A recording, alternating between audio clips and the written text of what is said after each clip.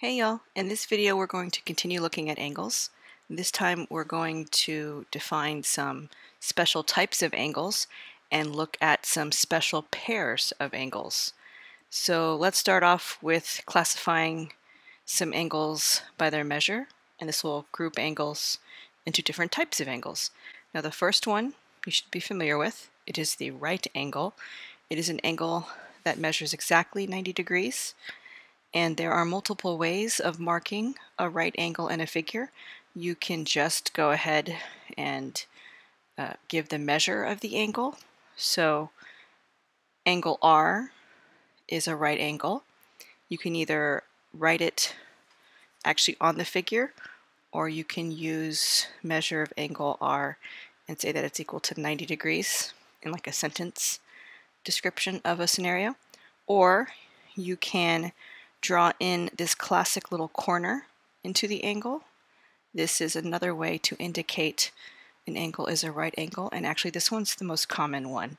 It's uh, going to be the one you see most often in a labeled figure. Now once you have right angles, you can look at those angles whose measures are less than 90 degrees, and that would be the acute angle. So specifically, an angle with a measure between 0 and 90 degrees is considered an acute angle. And these can be shown similarly. You can just put the angle measure on the actual figure itself, or you can say um, that they're just acute, or you can use the notation of measurement, right? And say the measure of angle A equals 55 degrees, and because that's between 0 and 90, then the person reading the statement knows that measure, that that angle A is an acute angle. And of course, we have the angle, that uh, group that contrasts the acute angle. We have the obtuse angles, and these are angles with a measure between 90 and 180 degrees. So angle B here is obtuse because its measurement is included as 120 degrees. And like before, if I wanted to put it in like a sentence statement, I can use measure of angle B say equals 120 degrees, and then anyone who reads that knows that by definition, angle B is obtuse. Now there are more than just right, acute, and obtuse angles.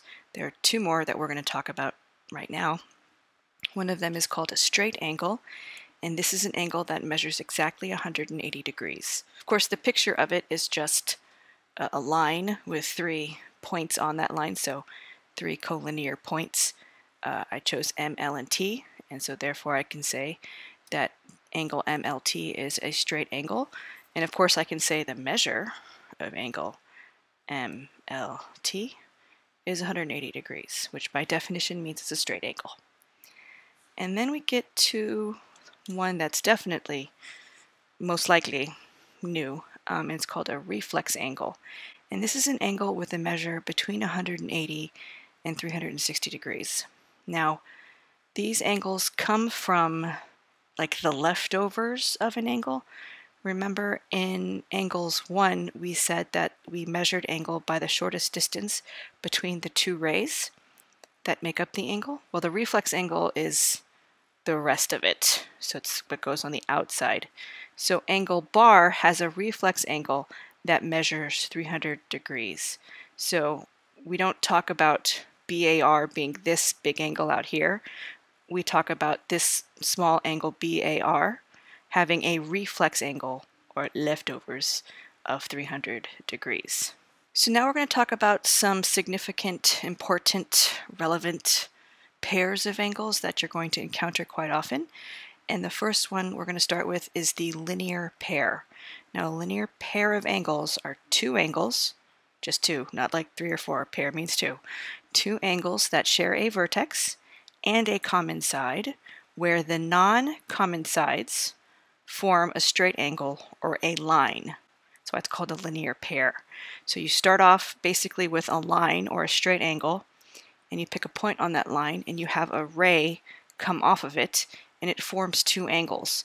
So these two angles share a common side, which is that ray, and they form a straight line with their non-common sides, and they share a vertex. So therefore, by definition, angle 1 and angle 2 form a linear pair. Now you might be familiar with this pair of angles, the complementary angles.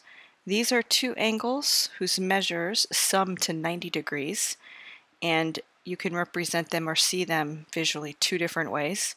One way is to create a right angle and add an additional ray in that right angle that breaks it up into two separate angles. And the statement I have here says if measure of ABD is 90 degrees, so ABD is a right angle, then angle ABC and angle CBD are complementary.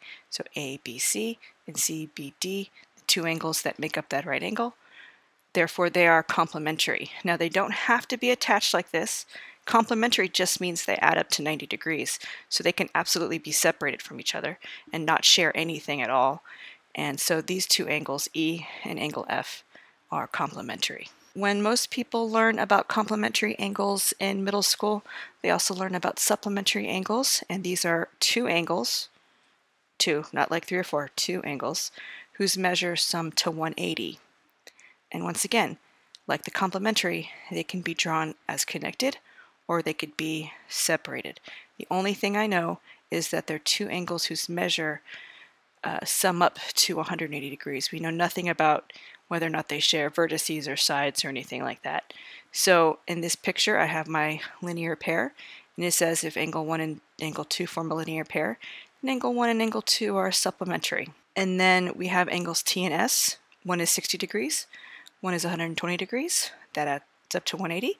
Therefore, angles T and S are also supplementary. So now let's look at a pair of angles that you're going to use quite often when you are solving problems, when you are proving things. And this is the vertical angles. So vertical angles are formed by intersecting lines. They share a common vertex, but not a common side. So if I look at these two intersecting lines, I'm looking for a pair of angles that share a common vertex, but they don't share a side. So angle 2 and angle 4 share a vertex, but they don't share a side. So it looks like they're kind of opposite of each other, right? And that actually is what a vertical angle is. 2 and 4 are considered vertical angles. And then 1 and 3 are also vertical angles. So when you draw intersecting lines, you form two pairs of vertical angles. 2 and 4 is one set, 1 and 3 is the other set. And remember, visually, they're right across from each other. They're not right next to each other. 1 and 2 are right next to each other, and those form a linear pair because they share a common side. But angles 2 and 4 are not right next to each other. They do not share anything but a vertex and that's why those are vertical. So while we're talking about intersecting lines, let's talk about perpendicular lines. Now perpendicular lines are two lines that intersect, but specifically they intersect at right angles. And this is also something you should be familiar with from Algebra 1. So I have this diagram here, and there are two ways really to mark perpendicular lines in a figure. One is to use the angle measure of 90 degrees, and the other one is to make that little corner. This corner is the most commonly used marking for perpendicular lines, um, but you can also do this if you want to. Now you really only have to mark one of these because logically as a consequence you're going to end up getting all four of them being 90 degrees. And if you want to write a statement that says two lines are perpendicular, um, you have to use this upside down capital T. It is the symbol for the phrase is perpendicular to. So this thing here is how I write uh, line 1 is perpendicular to line 2, which is what is drawn here. And of course, you can't talk about perpendicular lines if you don't mention parallel lines. So parallel lines are two distinct coplanar lines which do not intersect, meaning they have to be in the same plane to be considered parallel lines. Um, and so there are ways to mark parallel lines in a figure, and that is to use uh, arrows, an additional little set of arrows in the body of the line.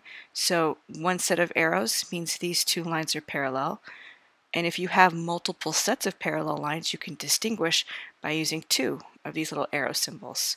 So that means these pair, line 3 and line 4, are parallel, and this pair, line 5 and line 6, are parallel. And if I don't want to write out a sentence and instead I want to use a symbol, the symbol for parallel looks like a little pair of parallel lines. So I would say L3, two little bars, L4. And this represents the sentence line 3 is parallel to line 4. All right, so now we're going to talk about how important this word coplanar is to the definition of parallel lines. Um, because there is a different set of lines in geometry that never intersect each other, but they're not parallel, it's because they're not coplanar. And those are called skew lines. These are three, these are, uh, this is a three-dimensional thing. So I've drawn a terrible cube here. And this edge of the cube, this upper right edge of the cube, and this back flat edge of the cube, these are lines that will never intersect with each other. Um, so, but they're not parallel because they're not coplanar. Instead, they are skew lines. Big difference between parallel and skew. But if you just remembered like the definition as, oh, lines that never intersect, then which one do we mean, right? Parallel lines have the condition of having to be coplanar, whereas skew lines cannot be coplanar. Okay, now to end this video, I'm going to leave us with a couple of questions. We're actually going to address the first one, um, and the other two I'm going to leave up to you to think about. So the first question says, given measure of angle 1 is 30 degrees, and the measure of angle 2 is 150 degrees, right, that's kind of given. The statement is angle 1 and angle 2 are a linear pair, and the, and the question is, is that true or false? Well, all I know is that they add up to 180 degrees, which means they're supplementary. But I have no additional information about how their vertices are related to each other, if they share a common side, if they form a line with their non-common sides, which are the conditions I need for linear pair. Now because of that, this statement is false. And in geometry, if you want to show something's true, you have to prove it. But if you want to show something is false, all you need to do is come up with something called a counterexample, which is an example that proves this to be untrue. And so this is quite easy. I can just draw this counterexample. And uh, you don't have to, counterexamples don't have to be statements. They can be statements, but sometimes it's actually just easier to, to draw a picture that proves your point. Okay, now whenever you say something is false, you must provide the counterexample right? That's it's not enough to just say true, false. False requires the counterexample. And so if I say that's 30 degrees, and that's 150 degrees, this is my counterexample, right? They are two angles that fit the criteria of the statement, 30 degrees, 150, right? But they are not a linear pair. Now, when we do true false in the beginning of the year, I am not going to make you um, prove things are true necessarily. Um, what I am going to do is I am going to make sure that you give me a counterexample for the false. It's your reasoning, right? It's like your work. And so now the two questions I want you to consider. Uh, if you can reason through these now, that's awesome. So first, can you show or prove or explain that vertical angles are congruent? Like if I see a picture of vertical angles, it looks like 2 and 4 are congruent, and it looks like 1 and 3 are congruent, but can you explain why that's true? It's not enough to look like it, you have to be able to explain why. So try to see if you can come up with an argument that would explain why those angles are indeed congruent. Now, if you have trouble with that, here's a little side question that might help you out. But it's a different question that's also interesting. Can you list all of the linear pairs in this figure? All right, all of them, and there are quite a few. All right, so I'll leave you with those questions and uh, see you in the next video.